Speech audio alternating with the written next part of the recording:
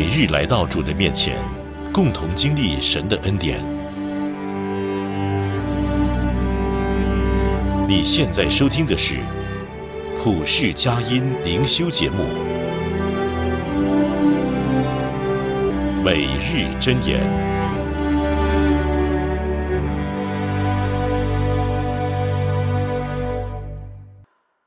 这位敬虔的外邦人。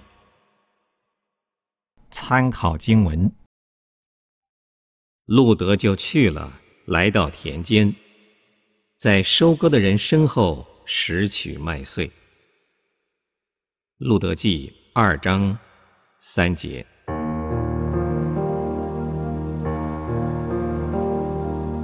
路德对拿阿米的忠心令人敬佩，但是其中的代价实在不菲。他远离家园。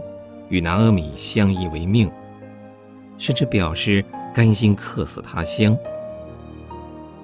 跟拿阿米在一起，生活非常艰辛，饥寒交迫，离乡背井。而更糟的是，是他的家乡摩押，常常和以色列为敌。试问，他这个外地人，能给拿阿米带来怎样的帮助呢？他所做的第一件事，就是在田里拾取留给穷人的麦穗。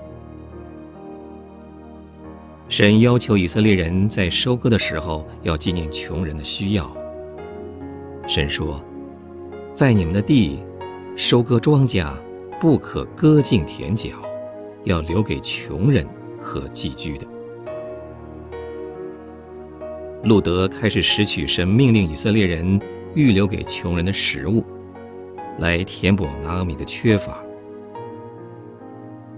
这位来自摩崖的外邦人仿效以色列女子所做的，使拿阿米免受饥饿的折磨。这种义，就是爱神超过一切，并且爱邻舍如同爱自己。就这样，路德的义。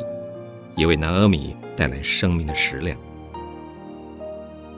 当路德解释他是在什么地方拾取麦穗，拿阿米非常高兴，因为那些麦穗是来自一位近亲的麦场。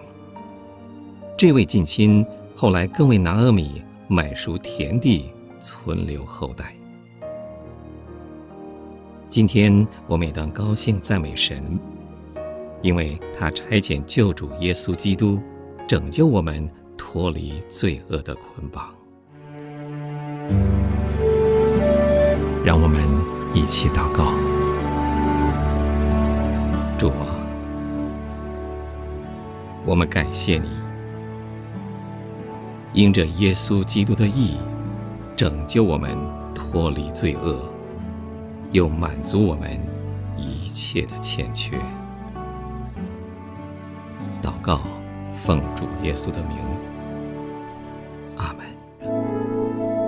你现在收听的是普世佳音灵修节目《每日箴言》。